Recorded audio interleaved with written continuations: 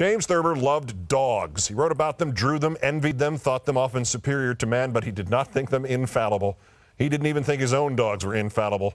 In fact, at least one of them comes off very badly, and by coincidence, she does so in tonight's story.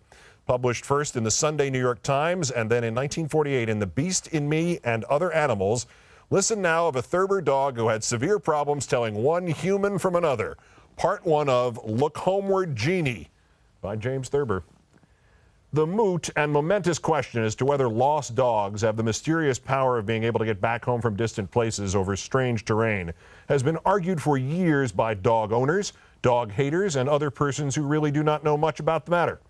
Mr. Bergen Evans, in his book The Natural History of Nonsense, flatly sides with the cynics who believe that the lost dog doesn't have any more idea where he is than a babe in the woods. Like pigeons, wrote Mr. Evans, dogs are thought to have a supernatural ability to find their way home across hundreds, even thousands of miles of strange terrain. The newspapers are full of stories of dogs who have miraculously turned up at the doorsteps of baffled masters who had abandoned them afar. Against these stories, however, can be set the lost and found columns of the same papers, which in almost every issue carry offers of rewards for the recovery of dogs that apparently couldn't find their way back from the next block. Mr. Evans, you see, touches on this difficult and absorbing subject in the uneasy manner of a minister caught alone in a parlor with an irritable schnauzer. Now, I don't actually know any more than Mr. Evans does about the dogs that are supposed to return from strange, distant places as surely as an Indian scout or a locomotive engineer, but I am not prepared to write them off as fantasy on the strength of armchair argument.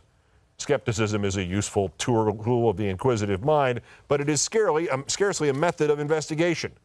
I would like to see an expert reporter like Alva Johnston or Meyer Berger set out on the trail of the homing dog and see what he could find. I happen to have a few haphazard clippings on the fascinating subject, but they are unsupported as always by convincing proof of any kind. The most interesting case is that of Bosco, a small dog who is reported to have returned to his house in Knoxville, Tennessee in the winter of 1944 from Glendale, California, thus setting what is probably the world's distant record for the event, three, uh, 2,300 miles in seven months. His story is recorded in a book called Just a Mutt by Eldon Roark, a columnist on the Memphis Press Scimitar. Mr. Roark says he got his tip on the story from Bert Vincent of the Knoxville News Sentinel, but in a letter to me, Mr. Vincent says he has some doubts of the truth of the long trek through towns and cities and over rivers and deserts. The dog belonged to a family named Flanagan, and Mr. Vincent does not question the sincerity of their belief that the dog who turned, turned up on their porch one day was, in fact, Bosco come home. The dog bore no collar or license, however, and identification had to be made on the tricky basis of markings and behavior.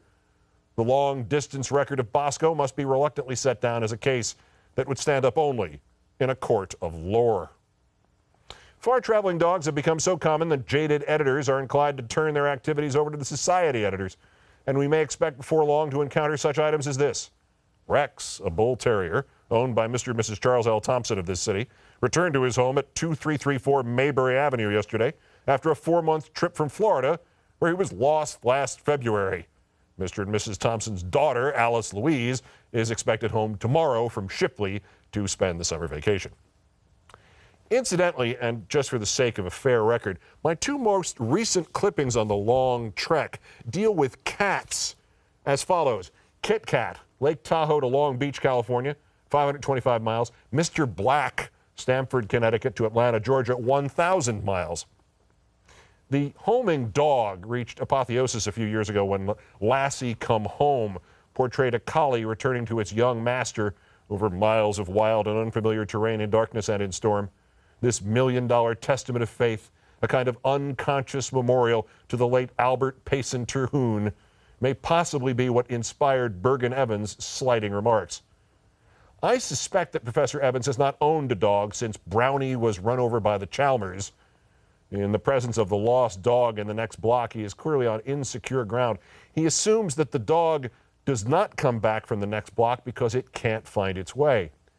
If this reasoning were applied to the thousands of men who disappear from their homes every year, it would exonerate them of every flaw except disorientation. And this is too facile an explanation for man or beast. Prince the dog.